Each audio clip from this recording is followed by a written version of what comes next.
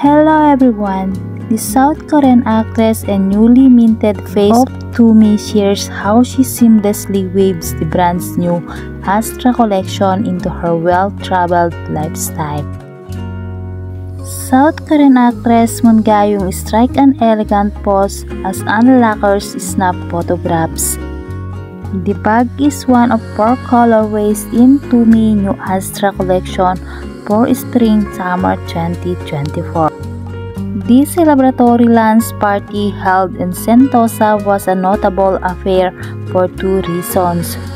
For one, it was an educated discovery of Tumi new designs, especially this Singapore-inspired purple sunset colorway.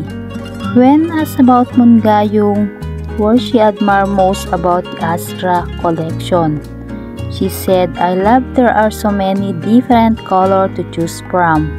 The devil is in the details because if you look inside its bag, you will also notice the microfiber lined pocket, which is a game changer. Not only can you put a lot of things inside, but it's the simple and thoughtful details that effortlessly complement my style. She added, when I'm acting, I'm limited to the character I'm playing.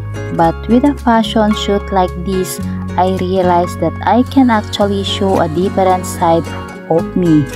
The Asra Large Hobo is perfect for short weekend trip and its roomy option with enough space to pack along a couple outfits and other travel essentials.